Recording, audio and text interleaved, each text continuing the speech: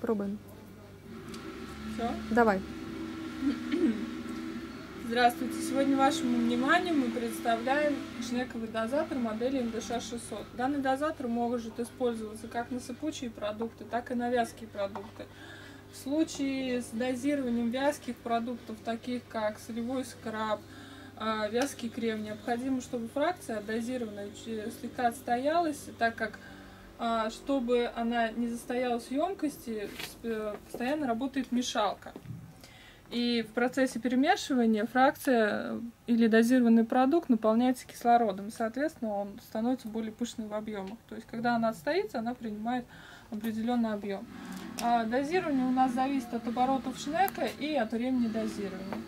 Сейчас мы представим вам дозирование. То есть дозирование управляется при помощи контроллера Включаем мешалку.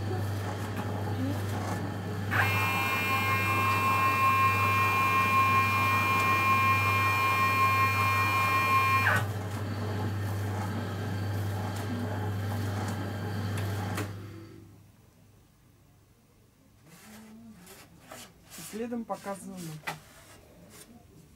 Вот у нас получается при дозировании данной фракции, она немножко устоится и получается вот такой вот объем.